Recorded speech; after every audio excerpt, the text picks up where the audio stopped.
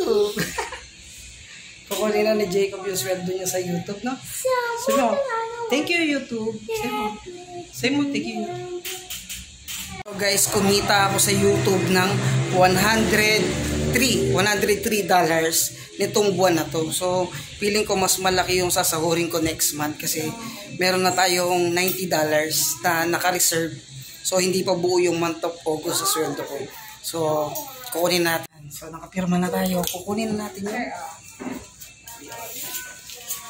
So, kailangan meron kang valid ID. So guys, ayan, nakuha na natin yung sweldo natin. Ang kinita ko is $102. Itong month lang na to. Ah, last month pala. August. Okay, so ayan, ito yung kinita natin sa YouTube.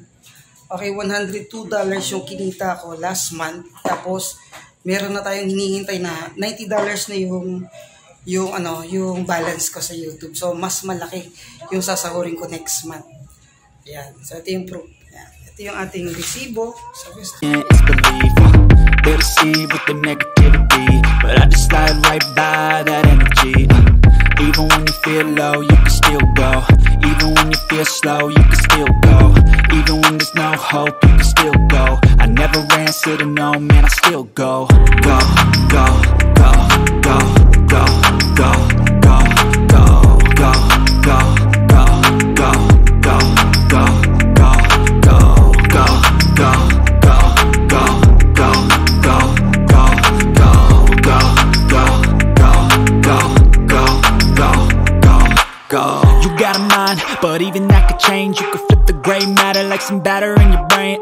Uh, That's why I say, fake it till you make it A. And if you play that game, then you just might make a change. Rearrange all the bad to okay. Take the worst thoughts saying, turn them to a game. Take the best thoughts saying, put them on display. On repeat in your brain till you're feeling no more pain. Never slow yourself down, you can do some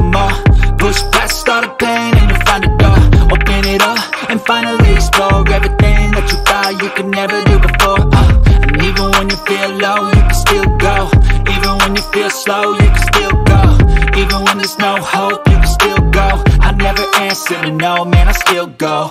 Go, go, go, go, go, go, go, go, go, go, go, go, go, go, go, go, go. You can still go. You feel slow, can still go. Can't uh, they deceive with the negativity, but I just slide right by that energy. uh. Even when you feel low, you can still go. Feel slow, you can still go. Even when there's no hope, you can still go. I never answer to no, man, I still go, go, go, go, go,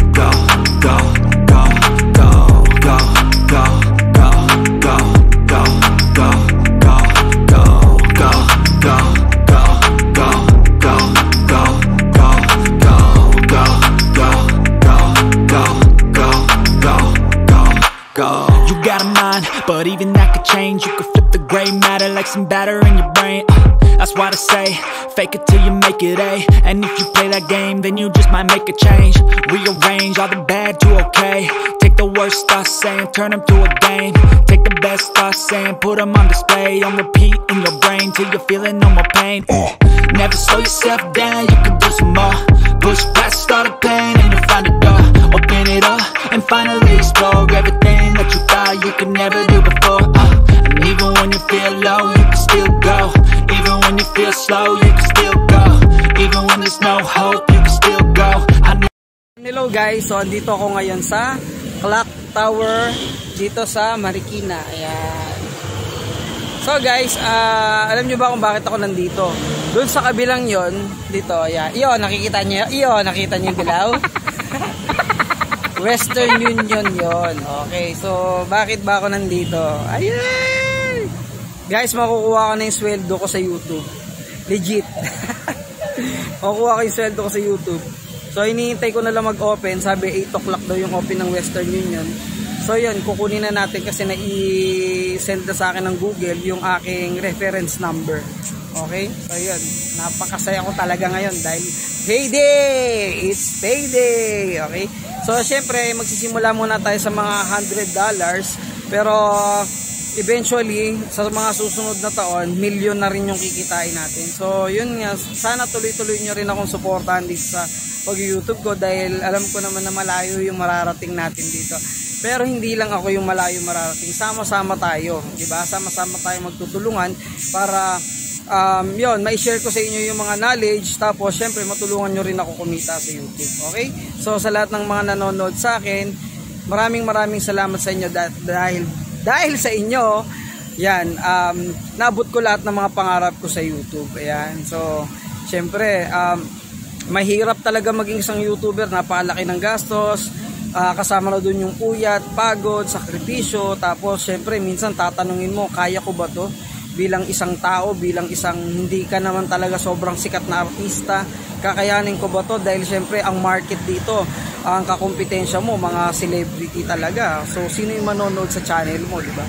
So yun, pero dahil tayo naman ay isang artist na lagi namang nagtuturo ng saya. Advice ko sa mga nangangarap maging isang YouTuber, no, sa mga vlogger, yung mga nagsisimula pa lang, yung kung tawagin ay newbie or small YouTuber, Guys, ang tip ko lang sa inyo, lagi kong sinasabi sa mga vlog ko, huwag nyong unahin yung pera.